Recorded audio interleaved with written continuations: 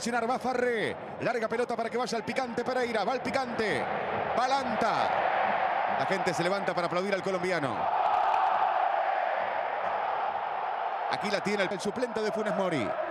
Pero es un jugador que está tranquilamente en la primera.